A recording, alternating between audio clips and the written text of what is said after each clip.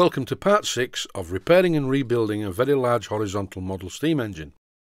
In this one I'm covering removing the old paint and more filling of the base casting. Here you see me placing the cylinder in a polythene container. Make sure you use polythene. If you use ABS type plastic, polystyrene and such like, you'll find that when you add the thinners, the whole thing dissolves and the cylinder drops on the floor, which is not a good idea. Anyway, this is definitely a polythene one because I use it a lot. As you can see by the tin, I'm using premium quality thinners. You don't need to use the premium stuff, you can use the rubbishy recycled stuff. This just smells a bit better. I don't like the smell of the recycled stuff.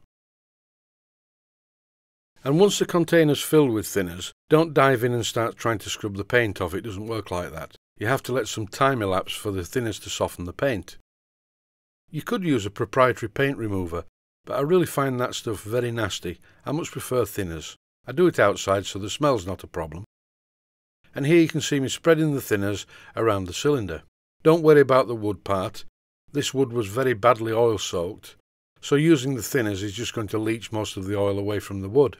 If you want to do it the hard way, you can scrape like I'm doing here with the edge of a metal ruler.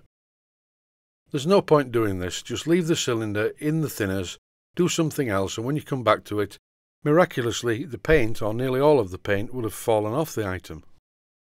Here I'm using an old toothbrush to spread the cellulose thinners on the painted areas. And then I'll leave it for a while. While I'm at it, I keep spreading some on the wood. This wood's getting nice and dry now. Originally, it was completely oil soaked.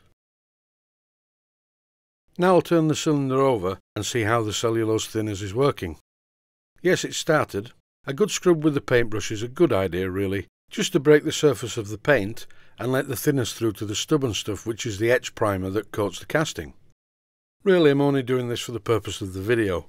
As I said earlier, just leave it in there, the paint will fall off. And in the meantime, I thought I would remove the paint from the two stanchions that support the main bearings. No need to put these in the thinners. I want to do two things here. One is remove the paint and reprofile the parts. They're quite well machined, but the shape's a little bit off, so whilst I'm removing the paint, I'm going to reprofile the part so it looks like this.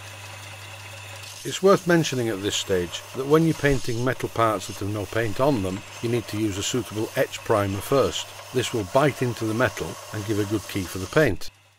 This is the motion bracket which supports the crosshead. It's not painted, it's just greasy, so I put it in the cellulose thinners just to degrease it ready for painting.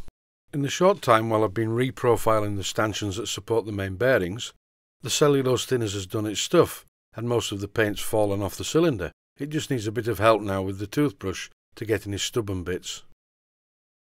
Back now to the boring bit of sanding down the base casting. This base casting was very rough indeed. The paint was bad too, but I daren't remove the paint fully because I would think I would have to then skin the entire casting. Some of the paint's pretty good and some of it's very bad. But now I've got rid of the bad paint and filled the depressions and it's just a process of eliminating all the depressions. I don't want to go too mad though, and I'm certainly no expert on painting, and I don't want to finish like a car body. What I'm looking to do is to get a good smooth finish and I'll be painting it with a paintbrush. Then it will look like something from the time period of the Industrial Revolution. In the next video I will show the finished product and you'll get the idea. But for now, it's spray it with primer so you can see where the depressions are and fill them again. Don't use too much filler though, if you put it on too thick it takes too long to rub it down. I'm also now working with cellulose putty or cellulose stopper, which is finer than car body filler, and eventually you will get rid of all the depressions and get a very smooth casting ready to take the main coat. Thanks for watching, I hope you found it useful.